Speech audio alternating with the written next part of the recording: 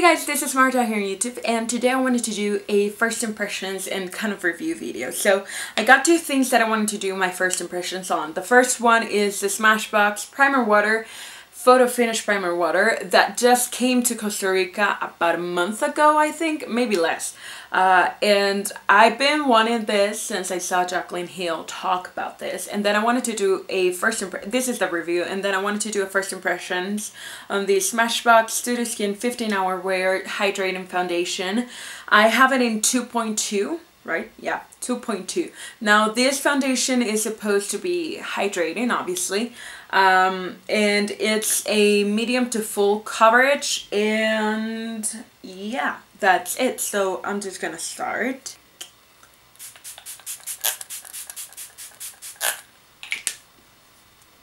This stuff actually smells really good actually really really like the smell. I would recommend if you have dry skin to apply this after using a moisturizer on your face. Uh, just because if you have really really dry skin you're gonna need something else to hydrate it before applying this one. So yeah. Definitely. This is sense what? No. This is silicone free alcohol free and something else free oil free and this is what it says. This water is infused with electrolytes to prime by misting to create our sheerest canvas for makeup, hydrate skin for hours, and revitalize complexion to boost radiance. Now, this is really hydrating, but again, if you have dry skin, it's not gonna be enough. Uh, this is really good for oily skins just because you don't have to use your face, your fingers or your hands to apply anything to your face, which is great. Um, when it comes to it does boost kind of radiance. I'm yeah yeah it does. Uh, you can say I have a little bit of red spots because I've been playing with my skin and I, I just can't stop don't judge. But yeah this stuff is really good. I've actually tried it before I did this video because you know, I just got obsessed with it. The first minute I saw Jaclyn Hill use it, I was like, I need that, I need that. And until now, it was able to come to Costa Rica, so I'm really happy about that. Um, so yeah, this stuff is great. I definitely have to try it out a little bit more just to find out what kind of more uses that I can do with this but I definitely recommend this if you can get your hands on it. Now, any viewers from Costa Rica, I got this at Amphora or Simán, cualquiera, like each of any of those places will work. So got that. And then any other people out there from United States or Canada, you can get it, get it at Sephora. I don't really know where else you can get it, but anyway, I'm gonna move on to the real first impressions. This is the Smashbox Studio Skin 15 Hour Wear Hydrating Foundation. Now, this stuff, I wanted a different foundation from the one that I have. I have the MAC Face and Body Foundation and it is really light, you can work it up a bit, but it's going to get until medium coverage if you really know how to use it. You can get it to full without it looking cakey, but it's not enough to cover up stuff when I'm working. So I am a makeup artist and I tend to work in production. So normally there's a lot of lights, there's a lot of sweating, there's a lot of heat, there's a lot of running around. So I wanted something that was going to last for a really long time that is going to be cover like it's going to cover my whole face and it's gonna stay like that for a long time. So that's why I decided to get this one. Uh, and this is supposed to be good for um, oily skins. And even though it's hydrating it's not going to get oily. That is one of the things that girl told me. So this is in 2.2 so we're just gonna do this the girl obviously tried it on me just to see if it matched my skin color, and it did. It does a pretty good job. I just dot it around and then I start. I'm gonna use the Real Techniques Expert Face Brush.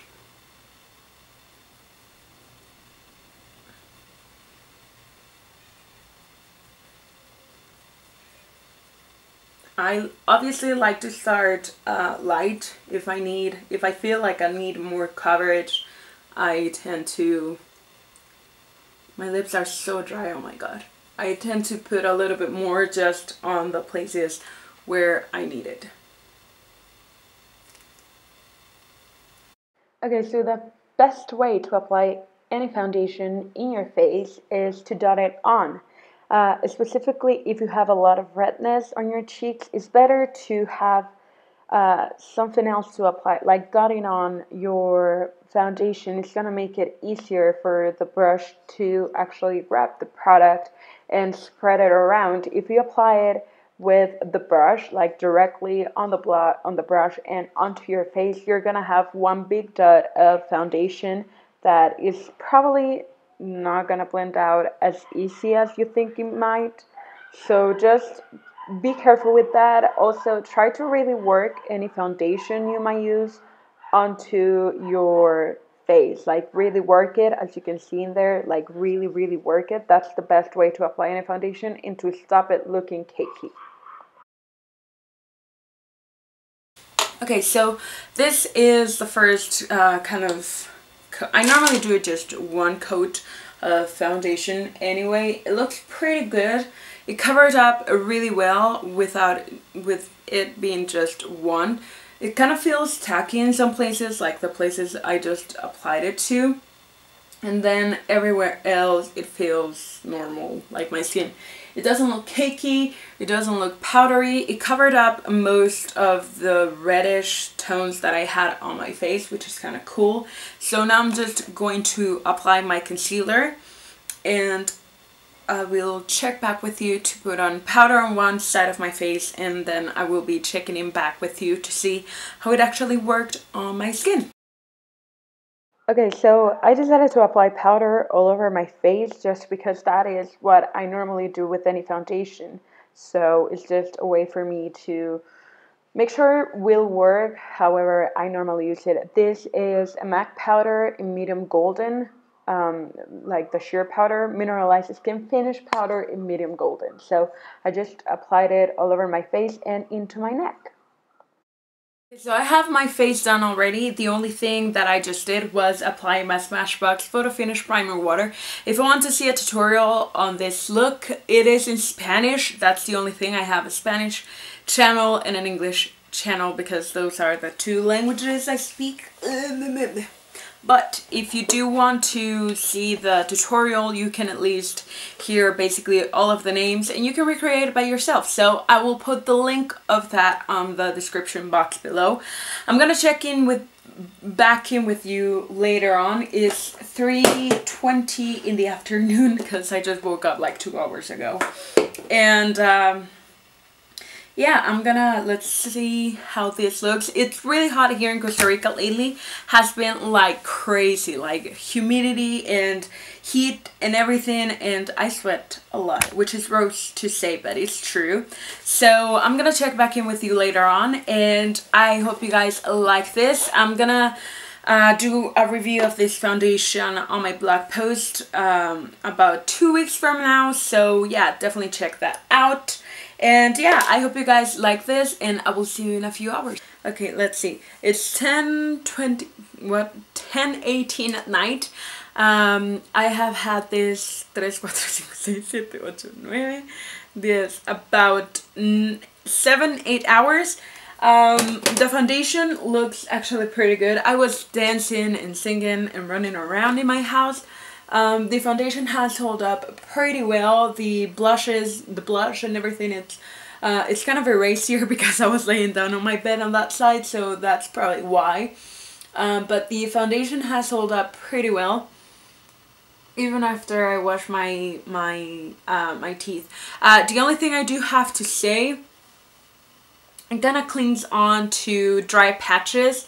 Uh, I will zoom you in in a little bit, but it seems to be pretty good, pretty okay. Um, here, just kind of between my eyebrows, it's kind of faded a little bit, but again, uh, it's kind of getting into the dry patches. So I'm gonna zoom you in so that you can see those dry patches. I don't know if you can really tell, but right here, I have a little uh, kind of acne type of thing and it's clinging on to my dry patch right in there which is kind of annoying. Uh, and then here here is holding on to them and a little bit on the sides of my nose which is where I normally get uh, those dry patches. So that's that. I think the foundation is great. I think it's gonna last you a long time if you wear it for work or for any events. The only thing I do have to see if it if it works good with flash photography. Uh, that's the only thing I haven't really um, tried, which I am going to, and I'm gonna put a picture in here.